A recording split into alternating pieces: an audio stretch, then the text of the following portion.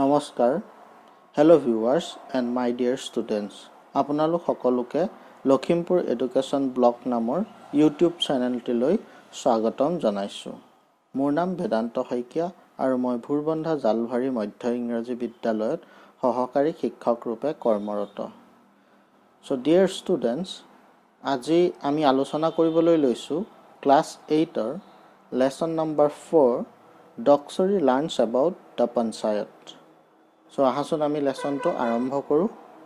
চ' ইয়াত before U read দিয়া আছে do you know' who builds our roads bridges and office buildings তোমালোকে জানানে আমাৰ ৰাস্তাবিলাক দলংবিলাক বা অফিচৰ বিভিন্ন অট্টালিকা বা বিল্ডিংবিলাক কোনে বনায়? From where does the money to build all this come আৰু এইবিলাক বনাবৰ বাবে টকা পইচাবোৰ ক'ৰ পৰা আহে? In groups discuss how government money is spend for public welfare so' তোমালোকে গ্ৰুপত আলোচনা কৰাচোন চৰকাৰী টকাবিলাক কিদৰে জনসাধাৰণৰ কল্যাণৰ কাৰণে ব্যৱহাৰ কৰা হয়। চ' ইয়াত ৱেলফেয়াৰ মানে হৈছে ৱেল বিং বা কল্যাণ। What will do you do to help people who are old unwell or homeless তোমালোকে সেইবিলাক মানুহক সহায় কৰিবৰ বাবে কি কৰিবা? যিবিলাক মানুহ হৈছে বৃদ্ধ অসুখী আৰু যাৰ ঘৰ দুৱাৰ নাই। In this lesson you will read about how panchayat spend money for the people তোমালোকে এইটো লেচনত গম পাবা যে পঞ্চায়তে মানুহৰ বাবে কিদৰে টকা পইচা খৰচ কৰে। এইখিনি হ'ল বিফ'ৰ ইউ ৰিড অৰ্থাৎ তোমালোকৰ লেচনটোৰ বিষয়ে এটা আভাস দিয়া হৈছে। ইয়াৰ পিছত চোৱাচোন Doksori is a student of class eight of Disangmukh জনজাতি হাইস্কুল ডকচৰি হৈছে ক্লাছ এইটৰ দিচাংমুখ জনজাতি হাইস্কুলৰ ছাত্ৰী। চ' ইয়াত এয়া চাইকেল চলাই গৈ আছে দেখিছেনে? এই যে বহি গৈ আছে এয়াই হ'ল ডকচৰি এই ছোৱালীজনী। আৰু এয়া হ'ল তেওঁৰ দেউতাক হাৰ Babu father Kongke Mili takes her to school on his bicycle আৰু তাৰ তাইৰ বাবু বাবু মানে দেউতাকক বাবু বুলি কয়। বাবু কংকে মিলিয়ে তাইক সদায় বাইচাইকেলক স্কুললৈ লৈ যায়। She loves the bicycle ride for she gets to know' new things every day তাই বাইচাইকেল ৰাইড বা বাইচাইকেলত উঠি গৈ ভাল পায় কাৰণ তাই প্ৰত্যেক দিনাই নতুন কথা জানিব পাৰে। Doksori means a necklace of beads the Mising usually wear in festival time so' Doksori মানে হৈছে a necklace of beads beads মানে হৈছে তোমাৰ এ স্মল ৰাউণ্ড অবজেক্ট বা মণি। মণিৰে গঢ়োৱা এডাল নেকলেছ যি মিচিংসকলে সাধাৰণতে উৎসৱৰ সময়ত পিন্ধে। ফেষ্টিভেল মানে হৈছে উৎসৱ। ইয়াৰ পিছত চোৱাচোন Doksori is an that year panchayat office Babu এইটো তোমালোকৰ পঞ্চায়ত অফিচ নহয়নে বাবু? কংকে মিলিয়ে কৈছে য়েছ মাই চাইল্ড হয় মোৰ child it has got a new signboard আৰু এই পঞ্চায়ত অফিচটোত এখন নতুন চাইনবোৰ্ড লগোৱা হৈছে। Doksori but what is a panchayat Babu? তেতিয়া ডকচৰি সুধিছে পঞ্চায়ত মানে কি বাবু? তেতিয়া কংকে মিলিয়ে কৈছে long ago' Doksori panchayat meant a system of governance by five elderly men called panch গ্ৰামীণ প্ৰমুখ বহু দিনৰ আগতে ডকচৰি পঞ্চায়ত মানে হৈছে এনেকুৱা এটা শাসন ব্যৱস্থা যি পাঁচজন বয়োজ্যেষ্ঠ মানুহে পৰিচালনা কৰে। অৰ্থাৎ পাঁচজন বয়োজ্যেষ্ঠ মানুহে পৰিচালনা কৰে যি পঞ্চ গ্ৰামীণ প্ৰমুখ বুলি কোৱা হয়।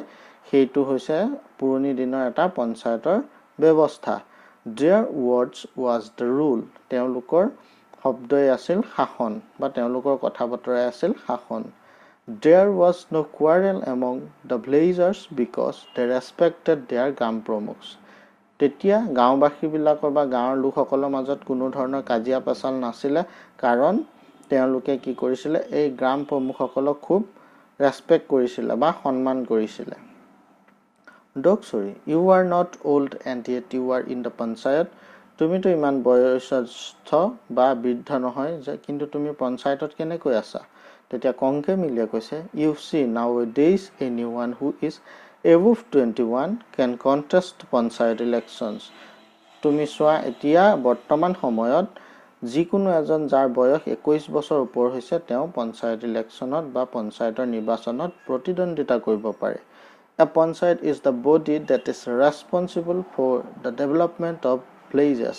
পঞ্চায়ত হৈছে এনেকুৱা এটা ব্যৱস্থা যি সদায় দায়বদ্ধ হৈ থাকে কি কাৰণে? ডেভেলপমেণ্ট অফ ভিলেজেছ গাঁওবিলাকৰ উন্নয়নৰ কাৰণে। চ' ইয়াত ৰেচপনচিবল মানে হৈছে আনচাৰেবল ফৰ এন এক্ট বা দায়বদ্ধ আৰু ডেভেলপমেণ্ট মানে হৈছে গ্ৰ'থ প্ৰচেছ বা উন্নয়ন বা বিকাশ।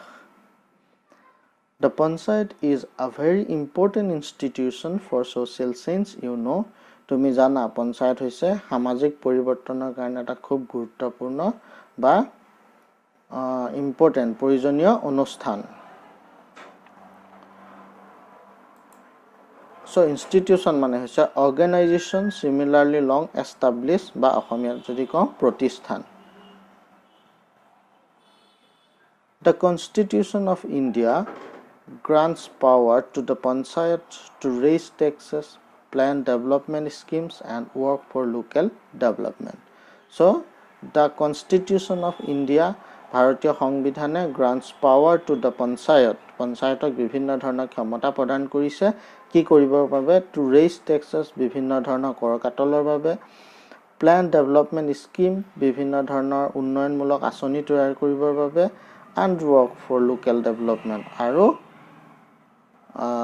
লোকেল ডেভেলপমেণ্ট বা স্থানীয় বিকাশৰ বাবে। ইয়াৰ পিছত চাওঁ।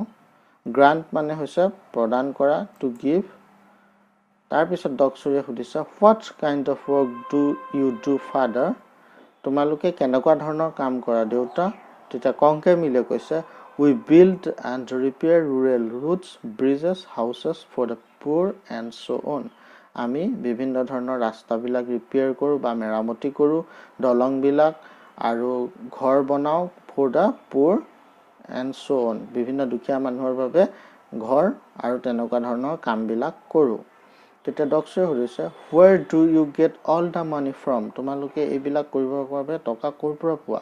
কংকে মিলি এ গুড কুৱেশ্যন এটা খুব ভাল প্ৰশ্ন। The panchayat raises a little money from taxes on vehicles river ghats bazaars and bills একচেপ্টা পঞ্চায়তে অলপমান টকা ক'ৰ পৰা আহৰণ কৰে? বিভিন্ন ধৰণৰ কৰ কাটলৰ যোগেদি অন ভেহিকুল যান বাহনৰ কৰ কাটলৰ যোগেদি ৰিভাৰ ঘাট বিভিন্ন ধৰণৰ নদীৰ ঘাটবিলাক আৰু বজাৰবিলাক বিলবিলাক এইবিলাকৰ পৰা কিছু টকা আহৰণ কৰে। Sorry is that money enough to do so' much work এইখিনি কৰিব ইমানবিলাক কাম কৰিবৰ বাবে এইখিনি টকাই যথেষ্ট হয়নে? তেতিয়া কংকে মিলিয়ে কৈছে annual grant from the panchayat and rural development department of the government আমি চৰকাৰৰ পঞ্চায়ত আৰু ৰুৰেল ডেভেলপমেণ্ট ডিপাৰ্টমেণ্টৰ পৰা এটা বছৰেকীয়া অনুদান পাওঁ।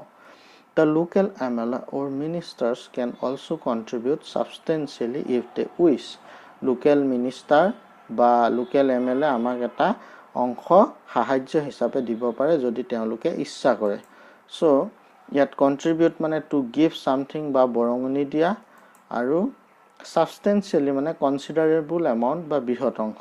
So' local M L A বা মিনিষ্টাৰে এটা বৃহৎ অংশও প্ৰদান কৰিব পাৰে পঞ্চায়তৰ কাম কাজৰ বাবে। ইয়াৰ পিছত ডক্টৰীয়ে কৈছে চোৱা why don't you build a house for poor Dhaniram Babu? Babu তোমালোকে দুখীয়া ধনীৰামৰ বাবে কিয় এটা ঘৰ বনাই দিয়া নাই বা ঘৰ বনাই নিদিয়া? কংকে মিলিয়ে কৈছে অ' Dhaniram the men with no' legs oh' Dhaniram সেই মানুহজন যাৰ ভৰি নাই। We did build a house for him last year but he left it after his mother died আমি যোৱা বছৰ তাৰ বাবে এটা ঘৰ বনাইছিলোঁ কিন্তু তেওঁ মাকৰ মৃত্যুৰ পিছত ঘৰটো এৰি দিলে।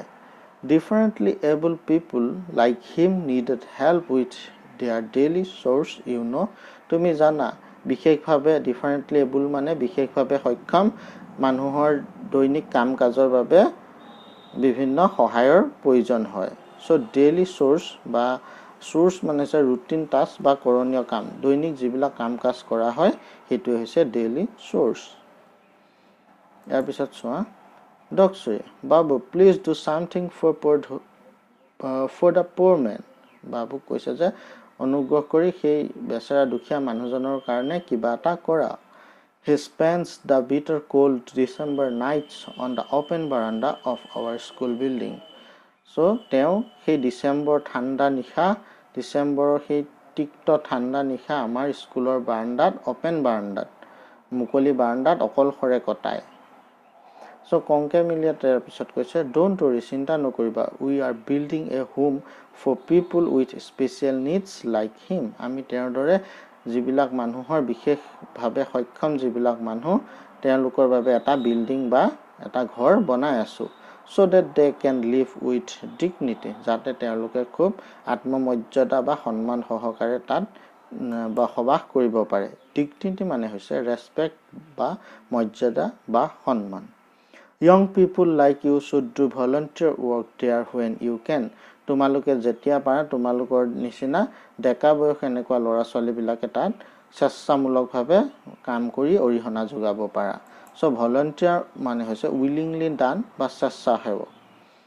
You will see how they learn to do their own chores and also' paint read play games and enjoy other hobbies so' তোমালোকে তাত দেখা পাবা যে তেওঁলোকে কিদৰে শিকিছে কি কৰিবলৈ শিকিছে to do their own chores তেওঁলোকে নিজা প্ৰয়োজনীয় কাম কাজবিলাক কৰিবলৈ শিকিছে এণ্ড অলছ' পেইণ্ট আৰু বিভিন্ন পেইণ্ট কৰিবলৈ শিকিছে ৰিড পঢ়িবলৈ শিকিছে প্লে গেমছ বিভিন্ন ধৰণৰ খেল খেলিবলৈ শিকিছে এণ্ড এনজয় আদাৰ হবিজ আৰু তেওঁলোকৰ নিজৰ নিজৰ যিবিলাক হবি আছে সেই হবিবিলাক তেওঁলোকে তাত উপভোগ কৰিব পাৰিব।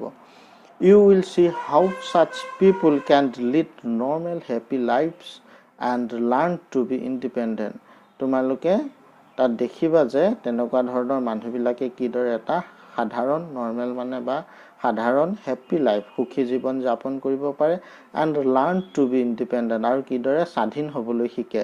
অৰ্থাৎ বেলেগৰ ওপৰত তেওঁলোকে ডিপেণ্ডেণ্ট নোহোৱাকৈ নিজেই স্বাধীনভাৱে কেনেদৰে কামবিলাক কৰিবলৈ শিকে সেই বিষয়ে তোমালোকে তাত দেখিবা।